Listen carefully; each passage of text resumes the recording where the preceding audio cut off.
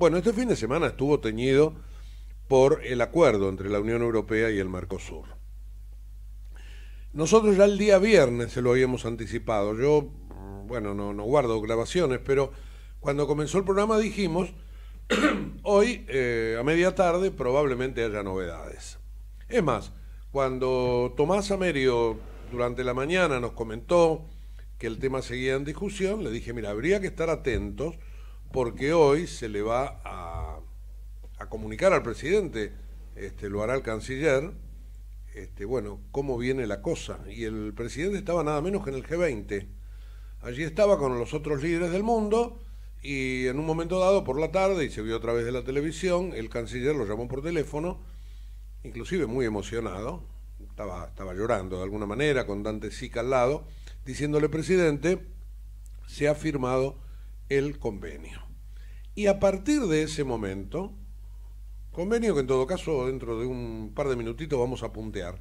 Pero a partir de ese momento se desarrollaron una serie de circunstancias de tipo político en la Argentina que son las que están, van a marcar las próximas elecciones. Las próximas elecciones se elegirá no entre dos personas, la grieta no está dada entre Mauricio Macri y Cristina Fernández. Ellos son en todo caso hoy los representantes de dos visiones del mundo de dos visiones del país. Uno para acomodarlo al mundo, otra, otra, otra visión para cerrarlo. Pero atención, que está dividido mitad por mitad, porque este, dentro de la República Argentina la mentalidad de los últimos 70 años ha sido la de la cerrazón. Este, y por supuesto, por supuesto que esto tiene que ver con el miedo con el miedo de mucha gente que teme perder sus empleos, pero también con la viveza de muchos empresarios que lo único que buscan es maximizar sus ganancias a costa de los consumidores. Entonces, ¿qué se va a elegir en, las próximas elecciones? Bueno, si los consumidores vamos a tener preponderancia hacia el futuro o si los eh, permanentemente este, mojadores de pancito de los em, beneficios estatales van a seguir este, poniendo los precios en la República Argentina. Así que es mucho más profundo que el señor Macri o la señora Fernández. Ojo, yo creo que acá no tenemos que pensar hoy por hoy en términos de grieta por personalidades. Me parece que la grieta está dada en otras cosas más profundas. ¿Queremos o no queremos ser? este, el concepto de soberanía de los años 40, 50, 70, etcétera, etcétera, ¿es el mismo que el que hay hoy?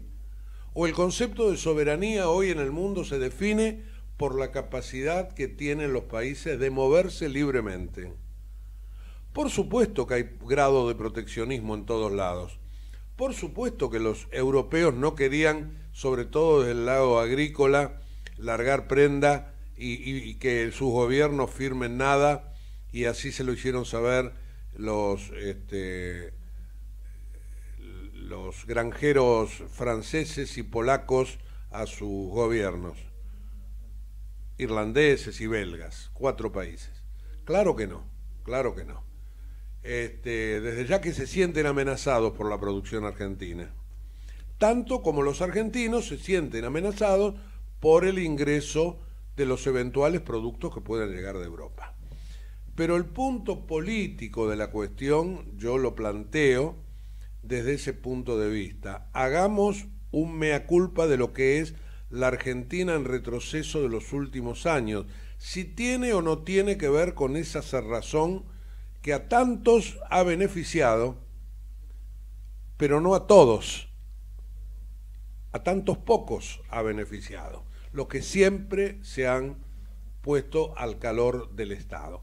Y han engañado a la población diciéndole que lo hacían en función de los puestos de trabajo.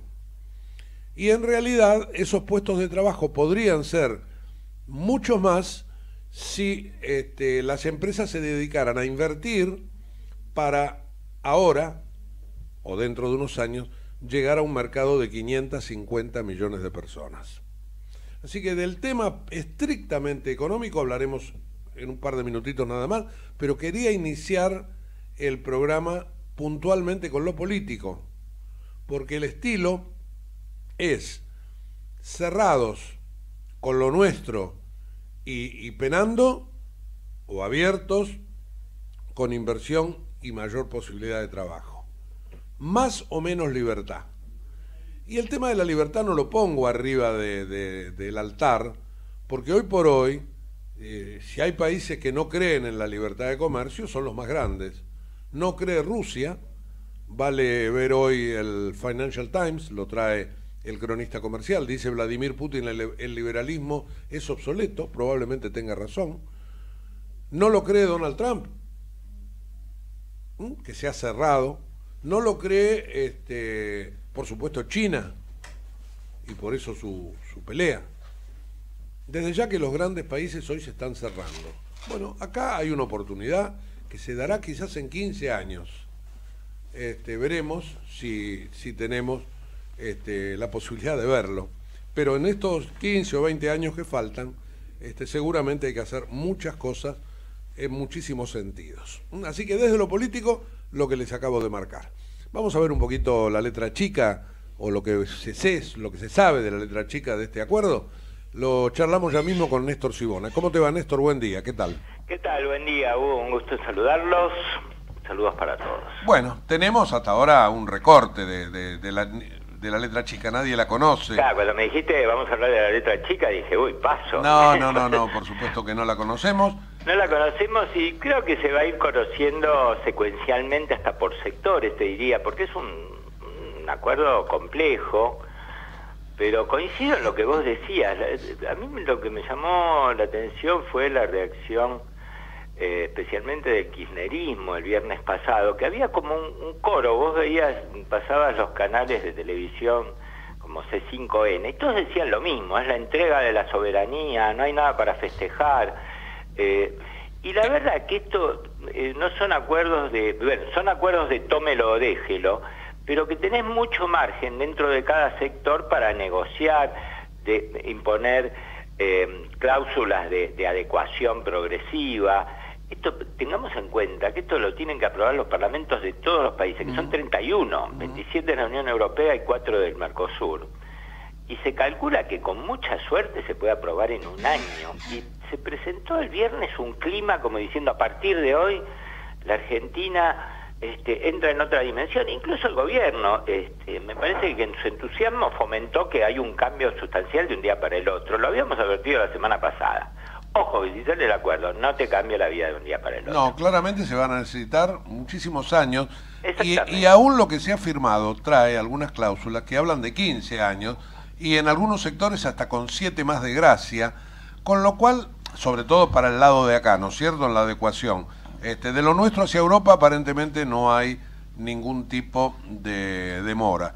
Es decir, aquel que quiera exportarle eh, vinos a Francia, por decir algo, lo va a poder hacer sin arancel. Al revés, eh, el día que se apruebe en el Parlamento Europeo por el lado y, el Congreso en la Argentina. Pero al revés, este, los vinos franceses no van a venir este, libres, sino que tendrán un arancel de 35%, por lo menos durante los primeros 15 años. Claro, porque eso después seguramente va bajando, y la verdad es que la, esto de arancel del 35% que vos decís, eh, que es el arancel externo común del Mercosur. Es altísimo para un mundo que en las últimas décadas, por ahí no tanto en los últimos años que recrudeció el proteccionismo, son barreras de, protección altísimas. Y como vos decías hace un ratito, sin que se traduzcan en una mejora de la economía argentina, porque lo que hay que tener en cuenta, yo creo que la Argentina, después de vivir tantos años de economía cerrada, salvo pequeños periodos que se quiso hacer una apertura tan rápida que todo el mundo eh, sale corriendo y, se asusta con eso, eh, no le dio resultado. La Argentina hace siete años que no crea empleo privado y lo poco que se creó es en el sector público y que aumenta el déficit fiscal.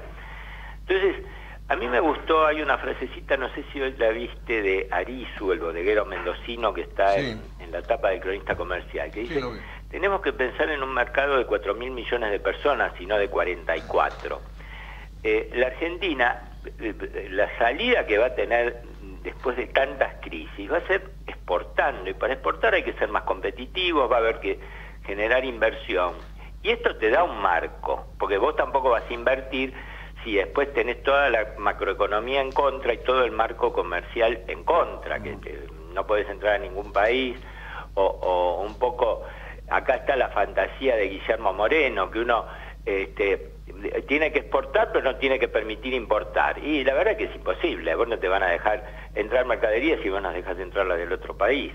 Es un poco como pasaba con el cepo, está bien, no salían dólares pero tampoco entraba llevado a la parte comercial. Eh, Néstor, eh, volviendo al tema político, simplemente porque vos decías el otro día que hubo reacciones así de primera instancia, cuando apareció el video de Cristina Fernández reclamando que el acuerdo, hace unos años, desde el año 2009, que la, perdón, del año 2014, que este, el acuerdo finalmente saliera, este, Alberto Fernández, que había puesto terrible en su en su tuit, recogió el barrilete e inmediatamente dijo hay que revisarlo.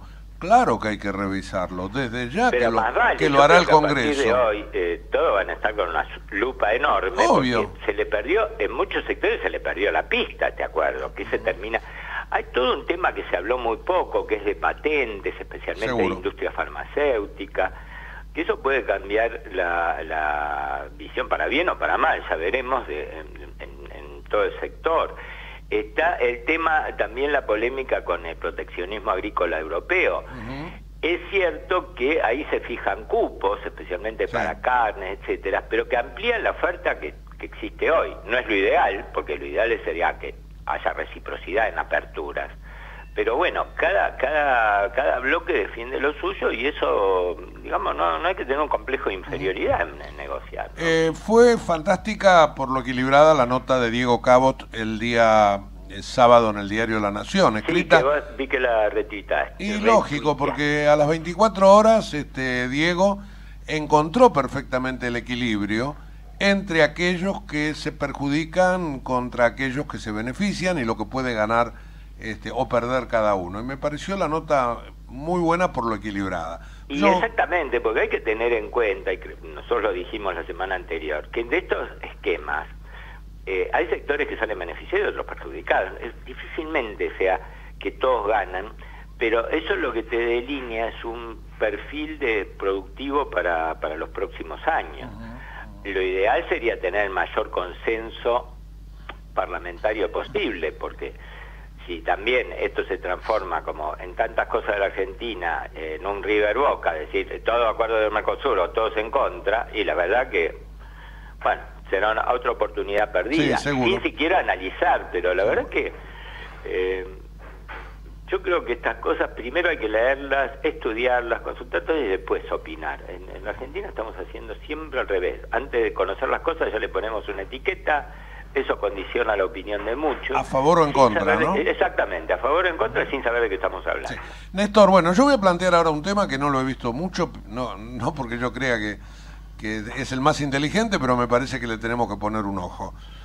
Evidentemente, la economía argentina en su conjunto no va a poder ser competitiva este, con eh, el modo en que está hoy estructurada. Exactamente. El gran problema del convenio Mercosur-Unión Europea se llama Brasil, porque son nuestros vecinos los que están más adelantados en materia de competitividad que nosotros y nos van a sacar ventaja, pero de larga data, si nosotros no ayornamos nuestro sistema laboral, nuestro sistema impositivo, este, y fundamentalmente la macroeconomía, es decir, menos o nada inflación, un tipo de cambio más predecible, este, una reversión de la recesión que ya, que ya nos está este, ahogando. Digo, todo eso que parece ser que Brasil de algún modo ya lo tiene resuelto, nos pone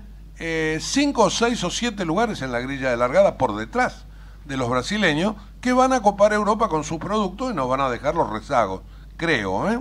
Sí, al menos yo no sé si coincido con todos los puntos que vos mencionaste, porque Brasil tiene un problema previsional quizá más serio que la Argentina. No, bueno, no lo toque ese tema. Tampoco son tan bajos, pero Eh, sí es cierto que tener una economía, una macroeconomía estable, Brasil eh, está con, con, financiamiento, tiene una tasa de riesgo país que no supera el 400 puntos, tiene una tasa de inflación del 4,5% anual, acá llegamos a tenerla en un mes este mismo año, y coincido con vos que eh, hay que empezar a empezar por mirar el vecindario y después ver qué pasa del otro lado, que para eso hay tiempo, ¿no?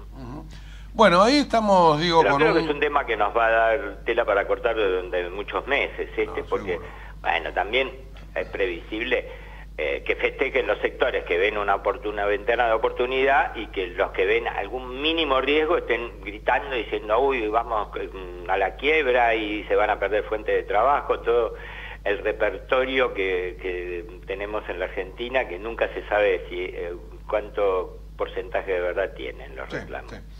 Bueno, habrá que ver entonces. La letra chica, evidentemente hay riesgos, pero también hay oportunidades. Así que a, partir de eso... adecuar algunas cosas. algunas ya están en el acuerdo, otras supongo que hay margen para, para negociar y, y, lo que conviene en estos casos es hablar con los que saben, porque el coro de, tocar de oído es enorme en estos temas. Seguramente. Bueno, yo quería iniciar el programa de hoy con vos porque la verdad después de casi 20 años, con varios gobiernos detrás de esta historia, haberlo finalizado no es mérito de Mauricio Macri, sino de la Argentina en su conjunto. Mauricio Macri pasará como pasó Cristina o como digo, pero, pero lo que acá se está planteando es una cosa de mucho más largo aliento, esta integración internacional en un mundo que tiende a cerrarse. Tampoco uno... y, vos fíjate que atraviesa a funcionarios de distintos gobiernos. El otro día lo escuchaba hablar a Martín Redrago, que fue secretario de Relaciones Exteriores de la Cancillería, por ejemplo. Este, y bueno, hay muchísima gente que, que, sabe que está involucrada. Bueno, ahora que es el embajador saliente de Brasil, Carlos Magariño. Esto la verdad que eh, es realmente un acontecimiento histórico para un país que hasta, hasta ahora tenía acuerdos comerciales con menos del 10% del PBI mundial y con solo este acuerdo, como se extiende a los 27 países de la Unión Europea, pasás al 30% del PBI mundial. Bueno, ahí tenés una oportunidad, depende de cómo se aproveche. Ahora la Argentina eh, se ha especializado en las últimas décadas en que tren que aparecía este, eh, se perdía. Sí, sí, claro y así estamos. A mí me impresionó, y cierro con esto, hubo, yo lo cité en una columna de hace poquito mía en La Nación, una, una frase de otro exministro, eh, Jorge Remeslenikov. Dice, con el aumento de la presión tributaria que tuvo la Argentina en la década kirchnerista, más la mejora en los términos de intercambio, o sea, subieron los precios de lo que la Argentina exporta y bajaron los de lo que lo importa en esa época, especialmente hasta 2008 significó un monto de 700 mil millones de dólares que llevado al, valores de hoy equivaldría a lo que fue el plan Marshall después de la Segunda Guerra Mundial para todos los países europeos, oh. solo para Argentina. Y vos fíjate que 10 años después estamos peor de lo que estábamos, sin crecer, sin crear empleo, con aumento de pobreza. Y creo que está llegando un momento para ver si, como vino la Argentina en las últimas décadas, se puede seguir puede seguir siendo viable la economía o hay que empezar a cambiar porque haciendo siempre lo mismo vamos a tener los mismos resultados. Y ahora, Néstor, volviendo a, tratar de ver esto en clave política, eh, yo creo que esta es una gran oportunidad para superar la grieta, por más que sepamos que la grieta entre el proteccionismo y la cerrazón este, contra este, la mayor apertura y, en todo caso este, liberar las cosas, es, todo un gran, un, gran tema de discusión en la Argentina. Pero esto hay que discutirlo en el Congreso y ahí hay posibilidades de cerrar la grieta, porque este, hay que mirar los costos y también hay que mirar los beneficios. Y a partir de eso quizás este, se puede hacer una aprobación racional de esto que perjudique a la menos cantidad de gente posible y que le dé oportunidad a las futuras generaciones de, tener un mercado que realmente este, pueda, pueda beneficiar a, todos. ¿no? Y te agrego un dato más.